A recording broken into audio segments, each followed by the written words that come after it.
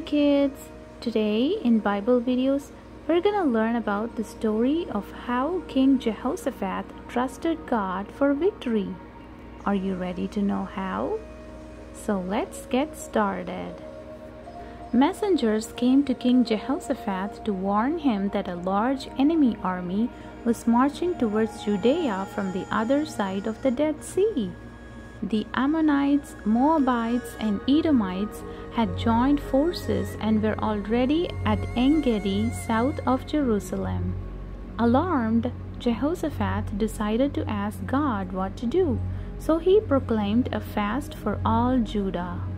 People from every town in the land came together to pray to God for help. King Jehoshaphat stood up in the temple courtyard and prayed, saying, Lord, you are so powerful, so mighty. Who can stand against you?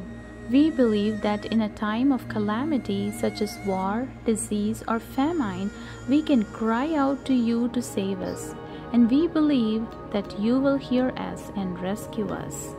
Then the Spirit of the Lord came upon a Levite called Jahaziel he announced, saying, Listen, everyone, this is what the Lord says. Do not be afraid or discouraged because of this vast army, for the battle is not yours, but God's. Tomorrow, march down against them, and you will find them at the end of the gorge in the wilderness of Jeruel.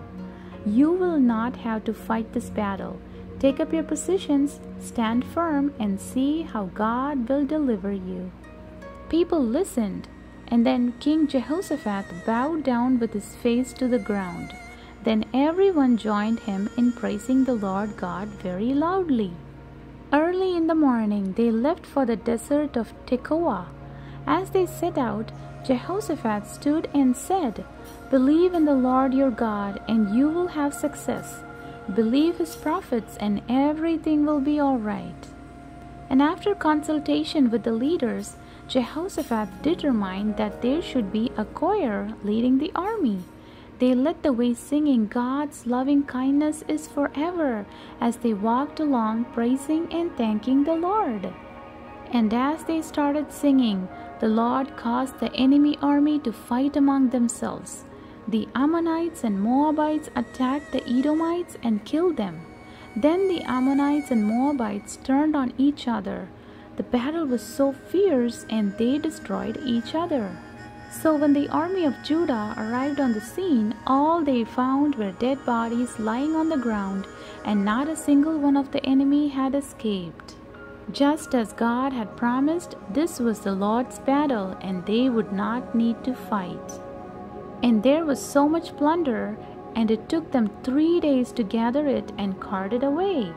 And on the fourth day they gathered in the valley of blessing, as it is called today, to give thanks and praise to God.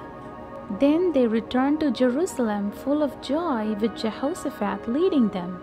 They marched into Jerusalem accompanied by a band of harps, lyres, and trumpets. Then they proceeded to the temple to give thanks to God. Jehoshaphat had trusted God for victory and it brought him peace. And towards the end of his reign, however, he went into partnership with King Ahaziah, who was a very wicked man. They built ships at Ezion Geber to sail to Tarshish. The ships set sail to open up roads for new trade. And God sent the prophet Eliezer with a message for King Jehoshaphat. He said, As you have allied yourself with King Ahaziah, the Lord has destroyed your work. The ships met with a disaster and never arrived at Tarshish.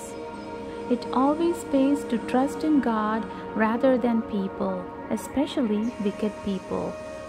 The end. And I hope you had fun learning the story of how King Jehoshaphat trusted God for victory. Thanks for watching. Like and subscribe for more Bible videos. Bye.